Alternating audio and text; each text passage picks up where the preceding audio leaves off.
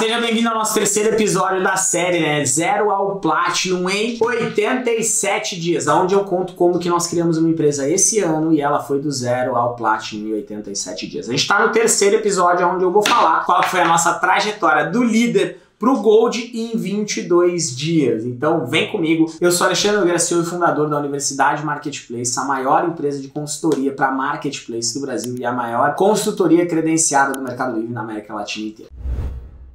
Boa, eu já contei no primeiro episódio como é que foi a pré, como é que foi a escolha, como é que a gente fez tudo isso. Se você perdeu, já pega aqui embaixo e vai lá assistir como que a gente escolheu o que ia fabricar, o que a gente errou, o que a gente acertou. No segundo episódio eu contei um pouquinho de como foi o nosso primeiro mês, na verdade os nossos primeiros 24 dias, onde a gente saiu da primeira peça vendida, todos os desafios, até a gente chegar na nossa medalha de mercado líder. E aí agora a gente vai falar um pouquinho de como foi essa trajetória, né, de 22 dias, do mercado líder até o mercado líder Gold. E eu vou falar também dos nossos desafios. Eu falei um pouquinho no episódio anterior que a gente chegou num ponto que nós entendemos, após ser aprovados ao Fulfillment, de fazer o nosso primeiro envio para o Full no finalzinho de março, a gente entendeu que a gente teria uma dificuldade ali dentro. Aquele espaço não comportaria a gente mais se a gente ficasse ali. A gente prejudicaria o nosso crescimento e a velocidade desse crescimento. Por quê? porque a gente já estava com seis pessoas no espaço super reduzido. Além de eu estar invadindo a casa da minha sogra. Um outro ponto ali também de muita atenção e que pra gente seria um problema era realmente a velocidade nos processos. Porque as pessoas já estavam esbarrando, os produtos previamente acabados já estavam ocupando muito espaço. A gente resolveu, né, colocar a nossa curva A no full. E agora vem como é que foi essa escolha. Como a gente colocou os produtos e a gente já vinha vendendo, né, porque nós fizemos 280 vendas nos primeiros 24 dias, a gente já tinha bem definido o que mais estava vendendo. E aí a nossa meta para o Fulfillment foi: vamos enviar os três caras que mais vendem, os três produtos que mais vendem, para a gente validar se a escala vai ser realmente possível e se o Fulfillment vai trazer essa escala para o nosso negócio. Então o que, que nós fizemos? Não consegui coleta grátis para aquele mês. Por quê? Porque tava, não estava tendo data, então mesmo estando em São Paulo, eu não consegui uma coleta grátis. E aí nós estamos em Ribeirão Preto, nosso fuel de Cajamar. E aí dentro dessa mudança, a gente falou, e aí o que, que vai fazer? Eu falei, vamos fretar um caminhão, né? Vamos vamos fechar um caminhão e vamos mandar um caminhão nosso. E nós vamos fazer isso daí porque a gente precisa. O envio em si,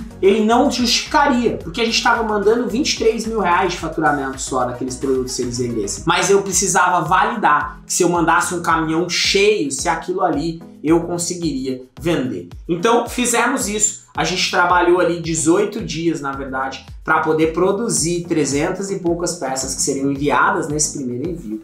E pagamos R$ 1.100 só de viagem do caminhão para ele levar para o full. Mas eu já sabia, eu já tinha tomado a decisão. E é isso que às vezes eu acho que as pessoas erram. Porque você já tomou a decisão, você já quer vender online, você quer fazer a parada acontecer e você ainda fica cheio de mimimi, de si, aí se, aí se, aí se, aí se. Ali o meu era, cara, e se não funcionar que eu tô ferrado. Se não der certo, mas eu precisava testar. E para testar a gente precisava acelerar. E ali foi quando realmente a gente saiu de um universo onde nós estávamos fazendo ali no máximo 20 vendas num dia, Segunda-feira era um dia corrido, porque a gente chegava com 40 ali dentro. Então a gente já estava falando de um dia de faturamento de 2 mil reais por dia, né? Do zero a 2 mil tá bom em 24 dias, né? Então no acumulado nós fizemos 81 mil reais de 24 de fevereiro a 10 de abril. Fizemos 860 vendas, 937 unidades vendidas, porque tem carrinho aí no meio. E para nós isso aqui representa que a gente vende muito kit, representa mais de 1.500 peças fabricadas em 46 dias de fabricação. Se tiver alguém que fabrica aí há muito tempo, me conta. Fácil é difícil. Ainda mais pra gente não tinha experiência. E aí a gente tendo que aprender. Aprender a melhor forma para os produtos ficarem prontos mais rápidos. Aprendendo a embalar esses produtos e testando embalagem de forma diferente, tentando medir esse tempo. Lidando com a falta de espaço e lidando com tudo isso. Então nós decidimos na última semana de fevereiro a fazer a mudança do nosso negócio. Então eu comecei a olhar galpão, todo mundo com receio, que dá receio, empreender dá medo, né? Você sair de lá, assinar um contrato de um galpão, onde você tem que ficar 12 meses você tem um contrato ali dentro e a gente começou a olhar. Nós começamos a visitar galpões. Então tava olhando galpão de 4 mil reais, de 5 mil reais, galpão de 8 mil reais e etc. Até quando a gente viu um galpão bem próximo, até daqui de onde a gente fica em Ribeirão Preto. E isso foi muito bom, porque era um galpão que estava fechado, reformado há mais de dois anos e a pessoa nunca tinha feito uma locação. E ali a gente conseguiu negociar muito bem. Então nós negociamos um galpão novo. Então foi muito massa. Nós fomos, olhamos, gostamos, beleza Ah, não é o tamanho que a gente imaginava? O galpão já é de 250 metros quadrados, muito maior do que a área que a gente tinha. A gente sabe, né? E agora a gente já está passando por isso nesse momento, que é o problema de espaço mas ao mesmo tempo era o que a gente precisava para poder acelerar o nosso filme. Era o que a gente precisava para aumentar o número de pessoas porque a gente, em aprendizagem, a gente já tinha visto que a gente precisaria de mais pessoas. E aí vem mais um viés, que foi um super aprendizado para mim,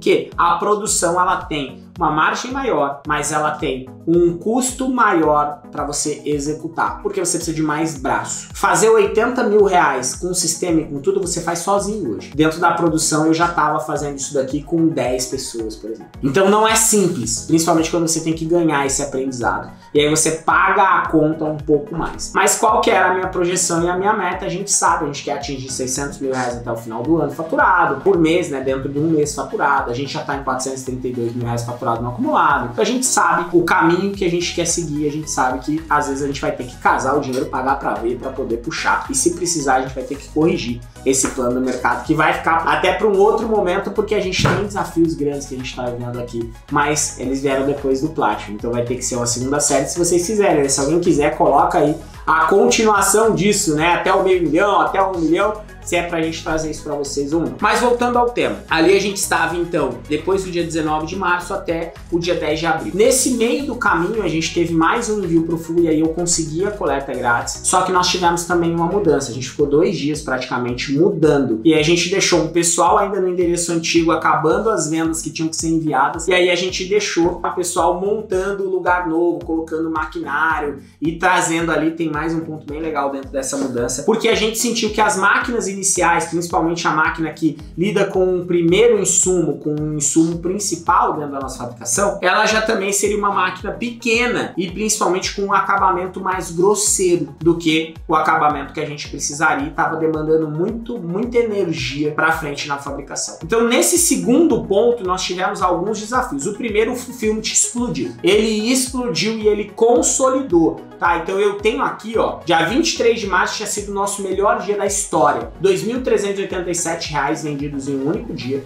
E além disso, nós tínhamos feito 23 vendas naquele dia, em um único dia. Quando o produto entra no Fulfillment, esse produto bateu no Fulfillment no finzinho do mês, acho que foi dia 28 o nosso envio.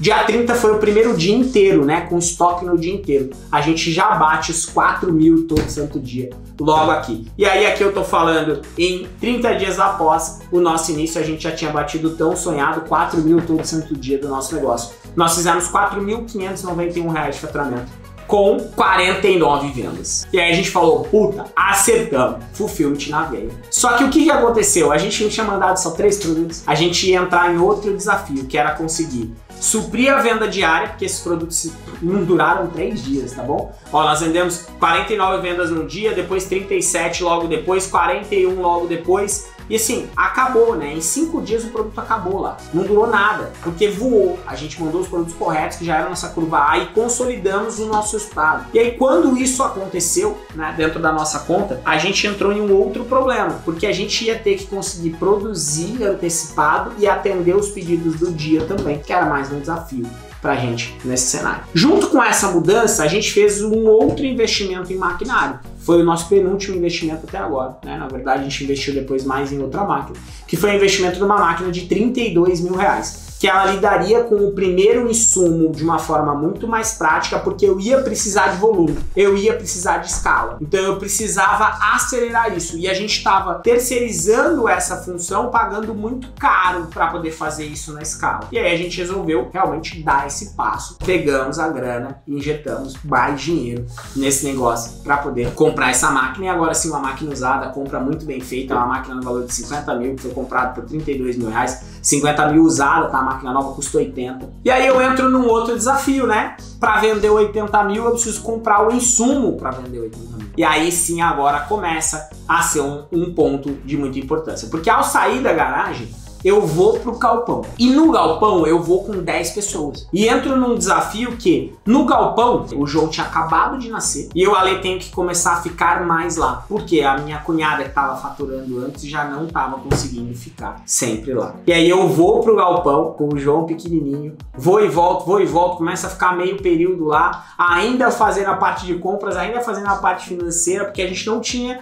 pego ninguém ainda para administrativo, mas a gente já tinha conversado com a nossa amiga e ela viria ajudar em junho, né? Então tava um pouco longe ainda, foi quando ela chegou, comecinho de junho, daquilo ali que ela precisava sair do, do outro emprego para poder assumir a parte comercial, financeira do nosso negócio. E eu não tinha pego um analista de e-commerce porque ele não tinha função. Eu ia pagar ele só para ele faturar. Então chegava mais cedo, faturava, entregava tudo, faturava de novo depois do período e aí voltava a faturar só no dia seguinte. Essa estava sendo a minha rotina. Então foi legal? Foi legal. Nós atingimos 81 mil reais de faturamento. Batemos a nossa medalha de gold com 46 dias. Mas ao mesmo tempo a gente começou a ter essas dificuldades, sim, de lidar com o crédito, porque com cartão de crédito movimentando e a gente tendo que comprar muito. E por exemplo, eu puxei aqui o nosso último mês do nosso insumo principal. Só do insumo principal a gente já comprou mais de 65 mil reais em um único mês, no intervalo de últimos 30 dias. Eu comecei a lidar com ter que antecipar insumo para poder produzir estoque para deixar no fulfillment. E eu comecei a lidar junto com tudo isso com aumentos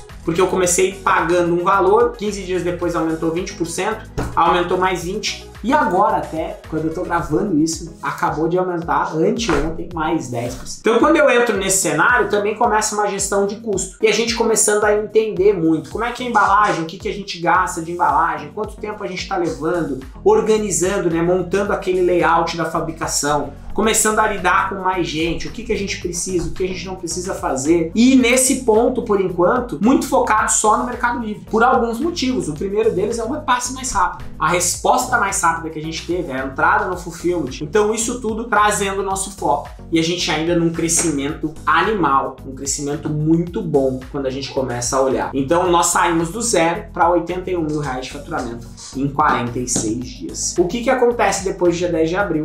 A gente foi de em 41 dias né, de diferença aqui, nós chegamos ao tão sonhado Platinum, onde a gente precisaria de 200 mil reais acumulado nos últimos 60 dias para atingir essa medalha. E a gente consolidou, que vai ser o tema do nosso próximo vídeo, a gente consolidou de 24 de fevereiro a 18 de maio a nossa corrida do zero ao Platinum dentro do Mercado Livre. Se você está gostando, lembre-se, se inscreve aqui, dá o teu joinha, deixa o teu comentário, coloca aí, aconteceu com você, você tem esses desafios, você consegue fazer isso? Até porque eu não tô falando uma média real e eu fiz questão de trazer o nosso caso, porque esse caso é totalmente real, tá bom? Não tem ajuda de Mercado Livre, não tem nada. A maioria das pessoas não sabem nem qual é a minha loja, eu não gosto de me expor, que é outro negócio, não tem nada a ver com a universidade. Então é um ponto diferente também, porque eu tenho um problema, eu tenho um problema de cara pequeno, mesmo tendo outra conta grande, também é outro negócio, com outra sociedade. Então é um problema diferente. A gente quis trazer isso porque essa média já acontece. Nosso Instagram tá cheio lá de postagem